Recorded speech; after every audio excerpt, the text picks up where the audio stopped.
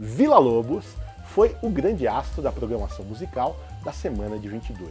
O compositor era nascido no Rio de Janeiro, onde ele morava, e de lá, da então capital federal, ele levou a São Paulo um grupo de músicos de sua confiança, como sua mulher, a pianista Lucília Villa-Lobos, a violinista Paulina D'Ambrosio, o violista Orlando Frederico, o pianista e compositor Frutuoso Viana e o violoncelista Alfredo.